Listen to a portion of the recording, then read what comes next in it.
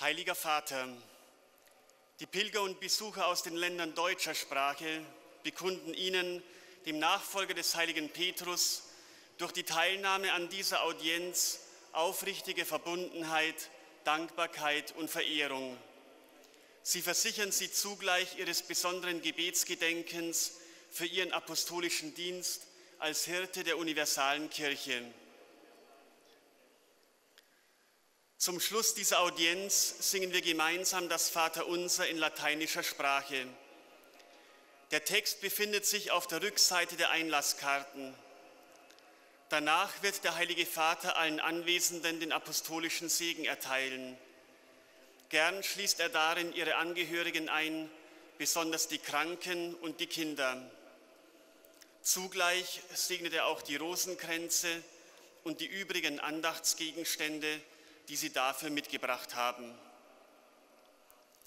Es folgt nun eine Zusammenfassung der Katechese des Heiligen Vaters in deutscher Sprache. Liebe Brüder und Schwestern, am vergangenen Mittwoch war das Thema unserer Betrachtung, dass die Kirche unsere Mutter ist.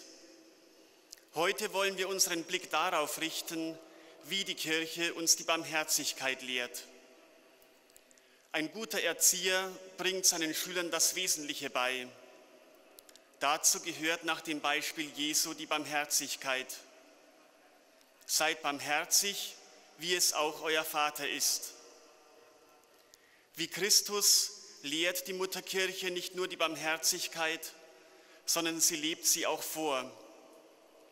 Hungernde speisen, Dürstenden zu trinken geben, Nackte bekleiden. Das tut die Kirche beispielhaft in zahlreichen Heiligen. Durch viele Männer und Frauen erweist die Mutterkirche an den Kranken den Dienst der Barmherzigkeit. Ebenso ist die Kirche den Gefangenen nahe.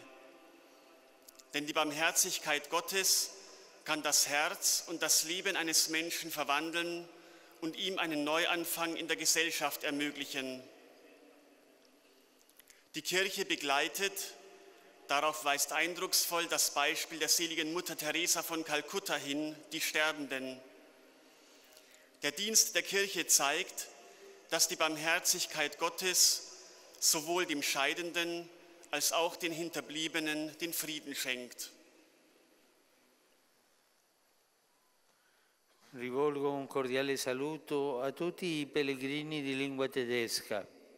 Cari amici, Ringraziamo il Signore che ci dà la grazia di avere come madre la Chiesa, la quale ci insegna la via della misericordia e la via della vita.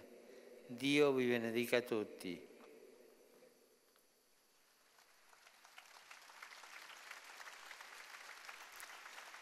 Einen herzlichen Gruß richte ich an alle Pilger deutscher Sprache. Liebe Freunde, danken wir dem Herrn für die Gnade, die Kirche als Mutter zu haben. Sie lehrt uns den Weg der Barmherzigkeit und den Weg des Lebens. Gott segne euch alle.